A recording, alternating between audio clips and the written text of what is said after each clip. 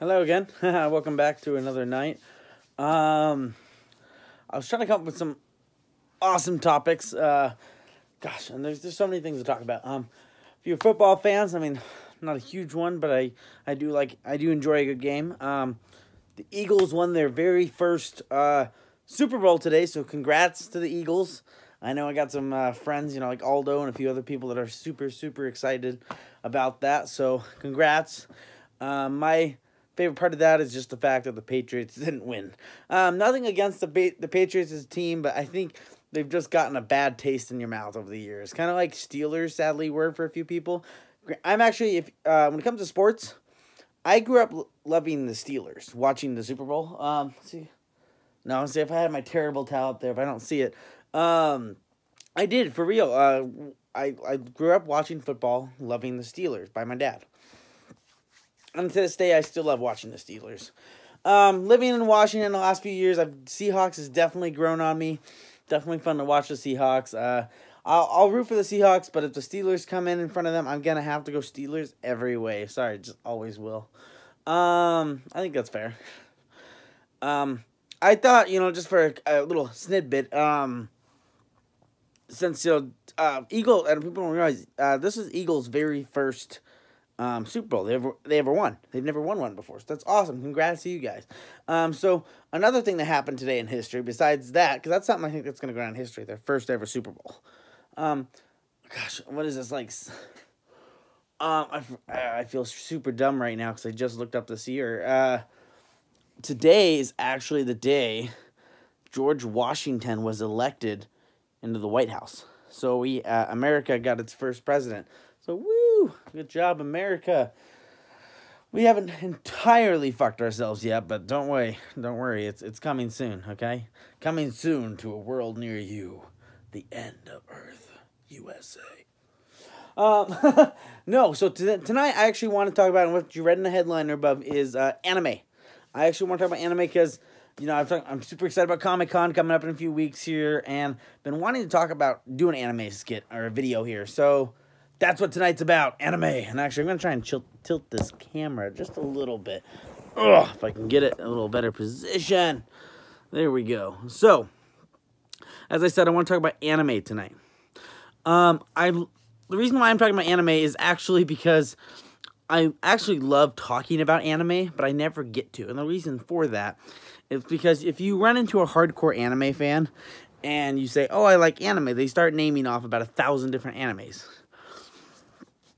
I sadly look at them with a blank face, like, "Huh? I don't know that," and uh, I, it sucks. It really does because I only have a handful of animes I've watched and that I've enjoyed. Um, so that's I'm I'm still watching more, so hopefully I'll get to see a lot more. But yeah, it's it's hard to talk to an anime fan, a diehard anime fan, and they're like, "Well, you haven't watched anime. You don't like anime." And I'm like, "Well, I do, just because I haven't watched, you know, anime the complete fucking universe." Jesus. Um, I I I've grown up with stuff like uh, I loved watching Appleseed.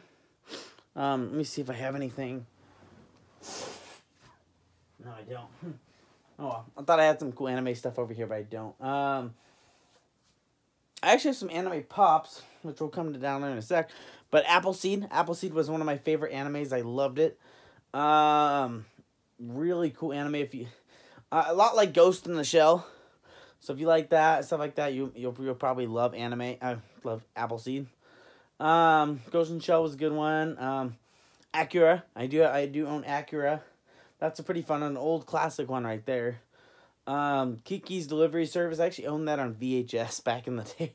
Uh, I loved it. Kiki's Delivery Service. Um, I love Spirited Away. Got to watch that years ago. Loved it. Thought it was amazing. Um, my girlfriend is obsessed with My Neighbor Totoro. Uh, she made me watch it this last year. Um, I enjoyed watching it. It's just uh, I find it extremely slow, sadly. Uh, my girlfriend says that's why she loves it so much. It's a movie you can fall asleep to, and I'm like, I don't think I'm that old yet. um, what other stuff? Uh, I'm a big fan of Witchblade. I don't know if you guys read that or watched it. Witchblade is amazing. I, I just love it. Um, and not just because of all the boobs. Boobs are just a nice added material. Um, I really got into, and okay, so there's a few animes, a few that I've gotten into because of my girlfriend.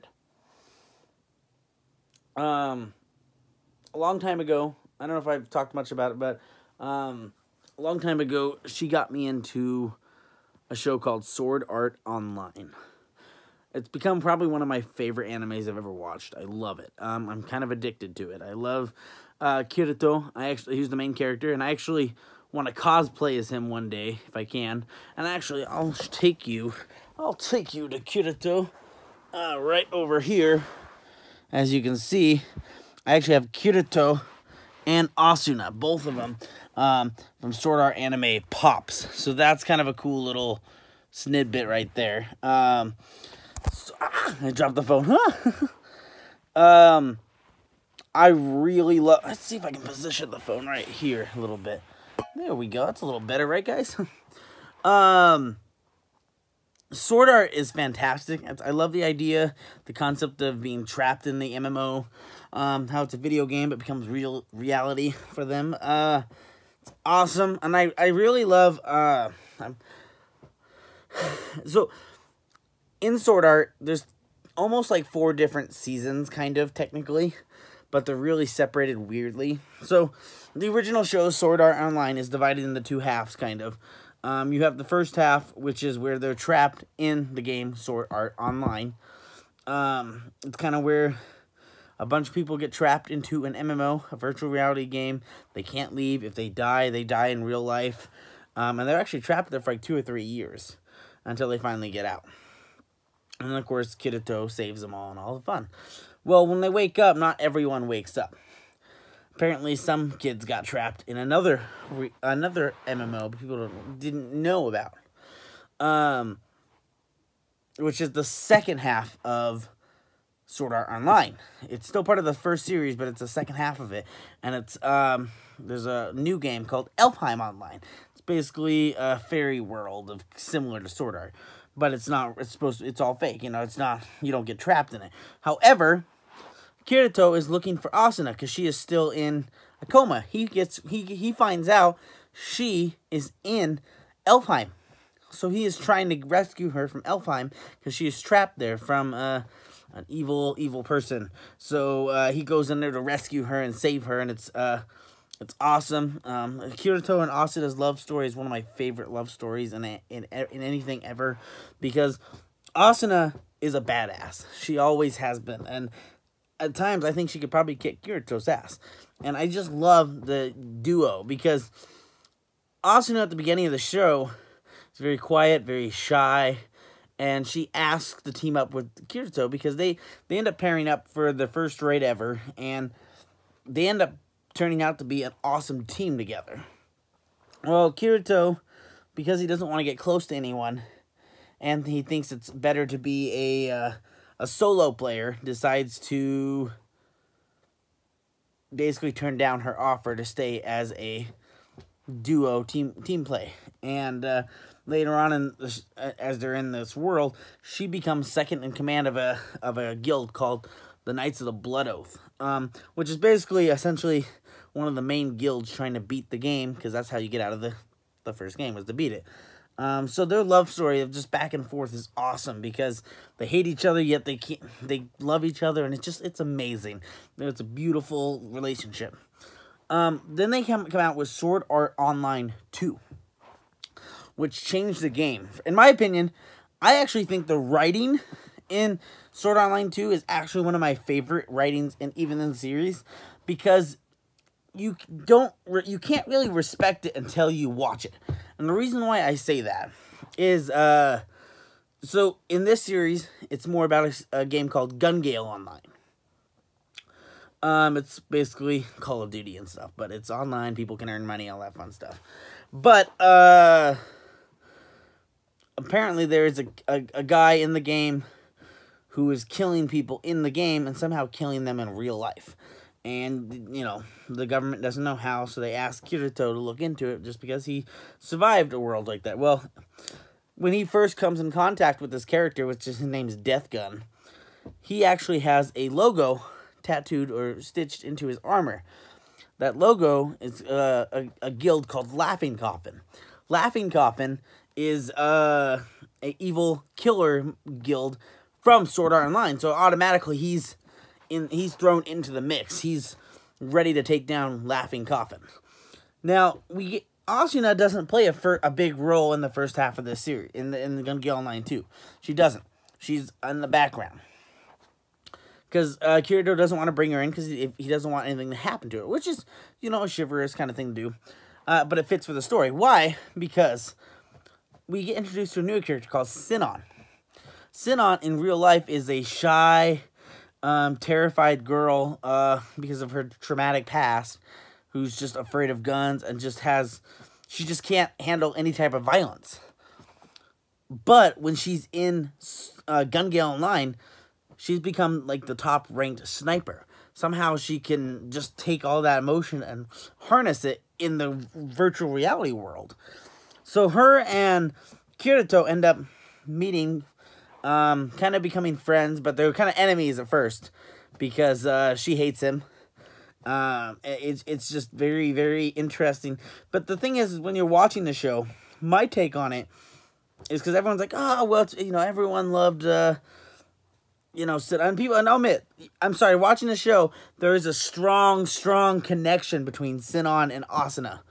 Um, and a lot of people hated that. I mean, Sinon and Kirito. And people hated that because people were like, hey, you know, Asuna is your girl. Don't be cheating on her. And and Kirito never does. Kirito is a, a man all the way. Loyal, and that's awesome. But, you know, I can even I can admit that there was some kind of stuff going on there. Um... Sorry, I had someone walking in the room here. Are you trash talking Asuna? Uh, see, this is, I knew this was going to happen. She's, my girlfriend loves, I love Asuna too, but she thinks I trash talk Asuna when I'm trying to talk about Sinon, which no. I'm not trash talking. He just. Ow. he just loves Sinon. I'm not trying, okay, no, it's just, this, it's, it's, it's great writing because Sinon, turn it a little bit here so she's in the picture a little bit.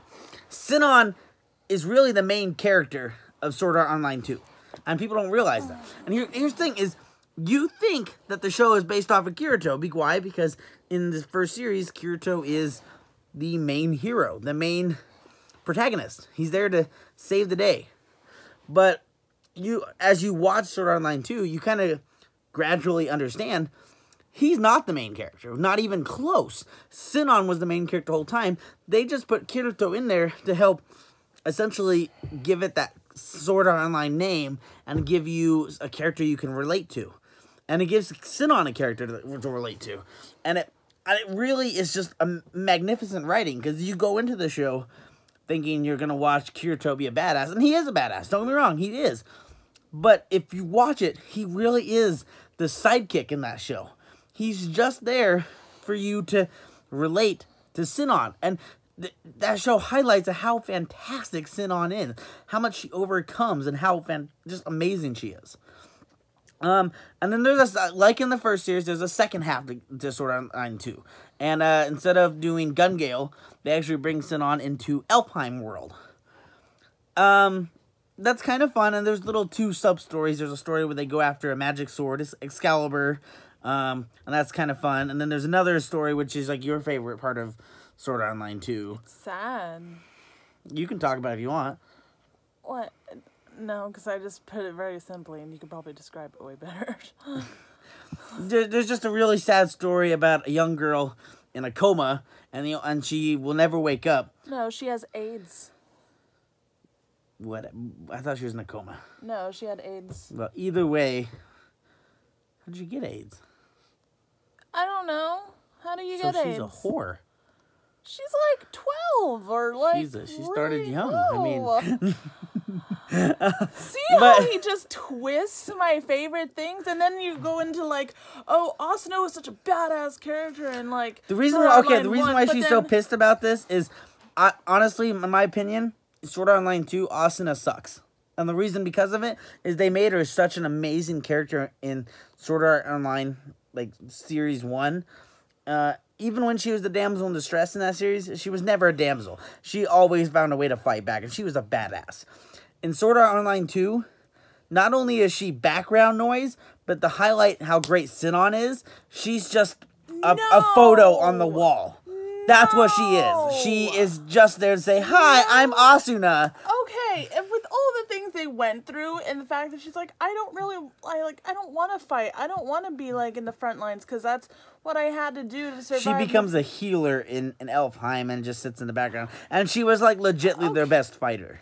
Okay, but you gotta understand that she went through a lot in the first season, and like she just wants to like chillax. She wants to. Is that your, is that your term for it? Uh, Asuna's just chillaxing in the background. Is she chillaxing into the wallpaper like I said in the background? Oh my god. You guys go ahead. I know I was your best fighter, but I'm just not gonna do anything. I'm not gonna have any actual important roles in Okay, this series. she was. Um, the other series I was gonna talk about that she got me into is this one right over here. Seraph of the End. As you've got a couple of those Seraph of the End pops, which is awesome. There, Mo- half of those, actually not half, most of the, all those, but like one is hers. Um, I plan on buying some of my own, but those are all hers. Well, yeah, because you have we have two Shinoas because you technically that's the only one you have. I know, but I want to get this one too, the Demon Eur- Yuichiro, which I still call Seraph. Okay, but it's here. It's in front of your face. Why do you want to go buy another one? Because when I divorce you in a few years, I Oh want to my make sure I have my. goodness. oh my goodness. hey, don't run away. What? No, keep keep going. Okay.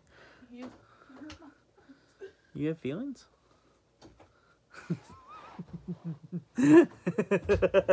She's she ran away.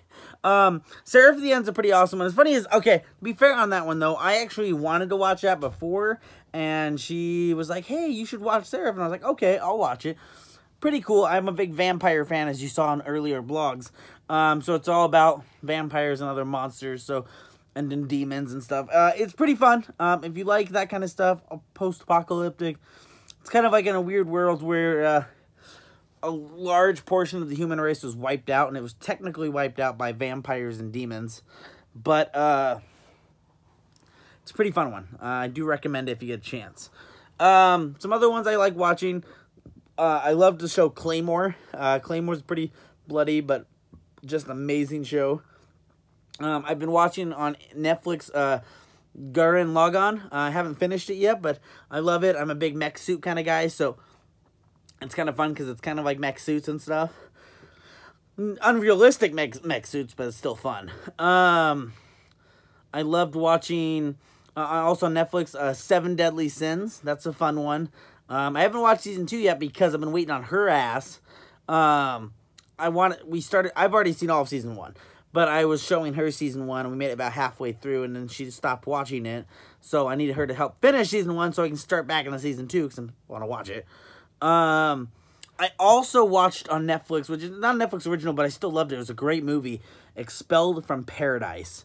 Um, that one's an awesome one. It's kind of weird. It's like in the future where uh, basically the rich and elegant um, transcended bodies and downloaded their memories into a collective, essentially a floating computer in in, the, in space, a giant space satellite computer. So and, and so everyone's been digitalized, and so being digitalized, you can live the perfect life and whatever, all the fun stuff and digital whatever. Um, but there's still people on Earth. It's just um, the poor people and whatever that kind of shit. But uh, while up there, there's a someone hacking into their satellite, so they need to find out who. So they send down uh, the, one of their best fighters down to the planet to try and track down uh, this hacker. And it's a pretty fun one. Of course, she comes flying down in what? A giant fucking mech suit. And what does the ending battle have? Mech suit battle! And I love mech suits. So it's awesome. Um, it, it's and it's okay. She is a cool, tight, sexy looking blonde that just helps go with the storyline too. But it's a fun one. Yeah, it's funny. It's definitely interesting. Um, it's one I would definitely give a give a shot. I like her sidekick buddy in it. He reminds me a lot of McCree from uh, Overwatch, so that's kind of funny. Um, def- definitely an awesome one to watch. Um, anime, anime. What other animes? I know I'm forgetting some. um, she's a huge Naruto fan. I never got into Naruto. I sadly missed that whole generation.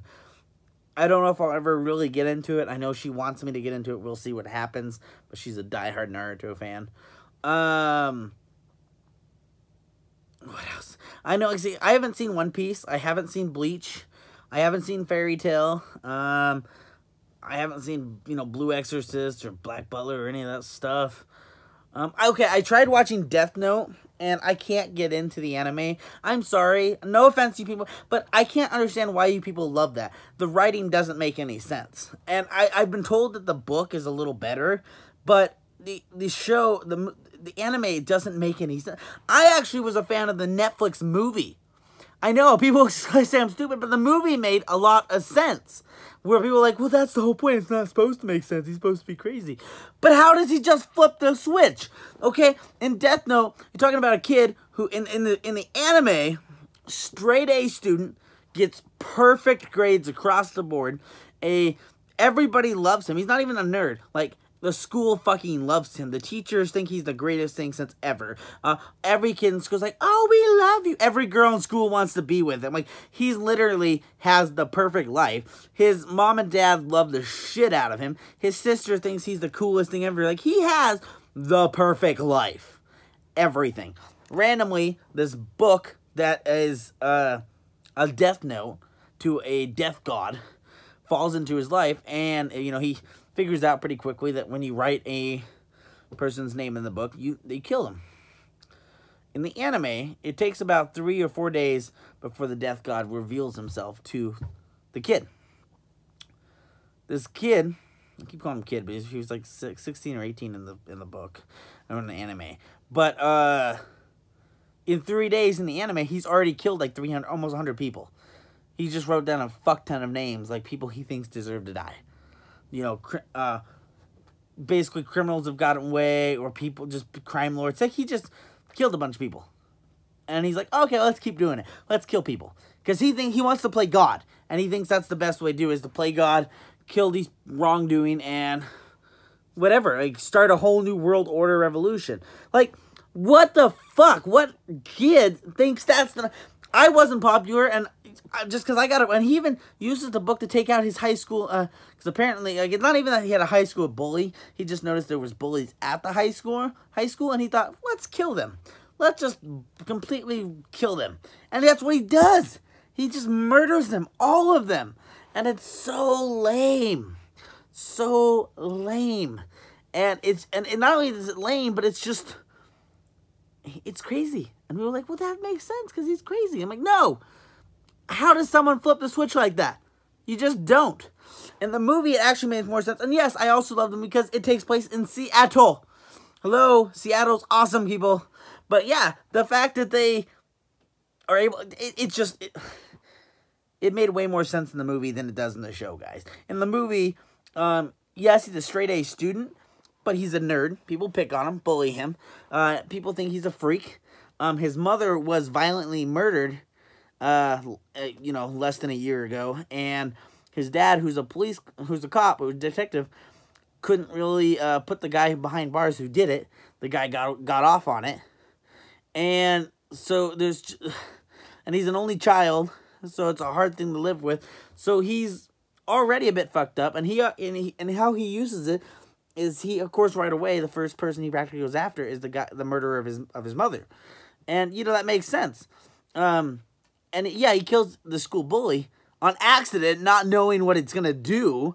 And he and when he first sees it, he freaks out, like he throws up. He's like, "Oh my god!" Like it's not normal for him. So yeah, he starts yeah, and he, ends up using it to become this cloud like in the anime, but it's not like immediately. It's something that he has to start figuring out and learning, and he it's just different. So in the in the in the in the Netflix movie, I just gotta say, Netflix, I think you did a good job. Thank you. I'm sorry, I know I'm gonna get blasphemy from you anime people, but I just, I'm sorry. I just don't get it. Um, there's so many animes that I want to watch. So many other ones I need to learn to get into. Um, I know there's more I'm not thinking of right now. Uh, however, tonight uh, we're gonna. I've already gone longer than I normally that I want to. Um, I will think of some cool. I'll write down some cool topics, and we'll talk about some fun stuff tomorrow. I don't know what, but we'll have some fun tomorrow. Okay. Um, who knows? Actually, the camera should come in tomorrow, so maybe I'll get to have some fun with that. Um, but either way, um, thank you for watching. Um, if you liked uh watching my video, please subscribe, please share me, please help me get out there on the net. Um, I'm gonna talk about all kinds of fun stuff. Talk about more Funko. Gonna talk more about um other big celebrities, Power Rangers, vampires, music, cars, um, sports, political shit, whatever we want to talk about, we can always do. I love doing it. So thank you for watching, subscribe, and have a great night, guys. And as always, stay classy, okay?